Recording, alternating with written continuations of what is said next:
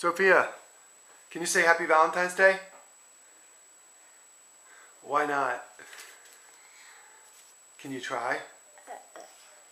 Say Happy Valentine's Day. Happy Holidays time. Happy holidays time. That's good. Did you sleep well? Uh-huh. Yeah? Uh-huh. What are we going to do after breakfast? I do Devin Cameron. We went with hung out with Devin and Cameron last night, didn't we? I Should we go play in the snow after this? ouch. Okay. That's a big bite. That's a big bite. Okay, say Happy Valentine's Day. Happy birthday, Steve. Good job. Alrighty.